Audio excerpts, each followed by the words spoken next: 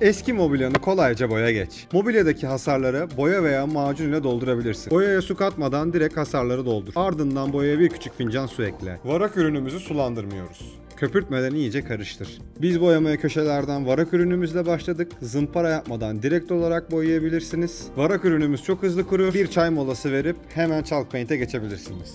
Chalk Paint ile uygulama yapıyorken hafifçe bastırıp ortadan dağıtarak boyamalısınız. Boyadıktan sonra rulo izlerini kaybetmek için mutlaka tarama yapmalısınız. Kururken dalgalı olabilir, tamamen kuruduğunda izler kaybolacaktır. Bu dönüşüm yapıyorken kullandığımız iki ürünü de aşağıda bulabilirsiniz. Görüşmek üzere.